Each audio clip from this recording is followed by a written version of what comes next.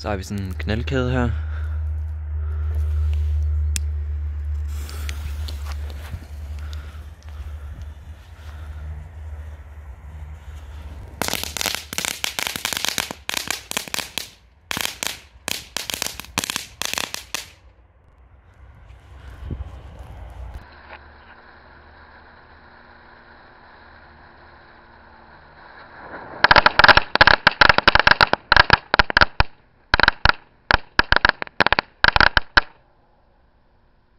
Vi en cracking ball uden skal.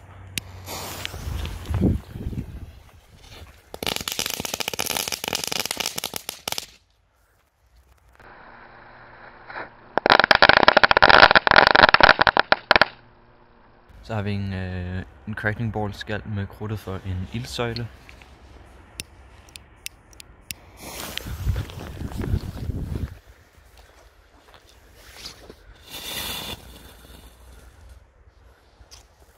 Interessant.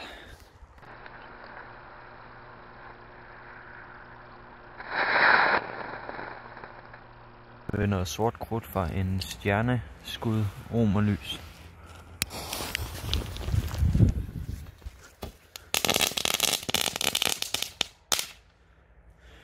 Øh, med crackling også.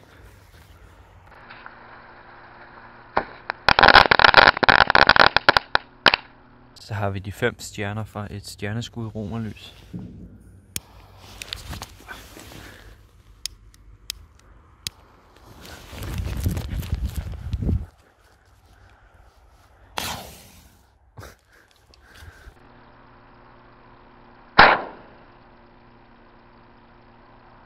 Der har vi en jordsol med heksehylkrudt i midten.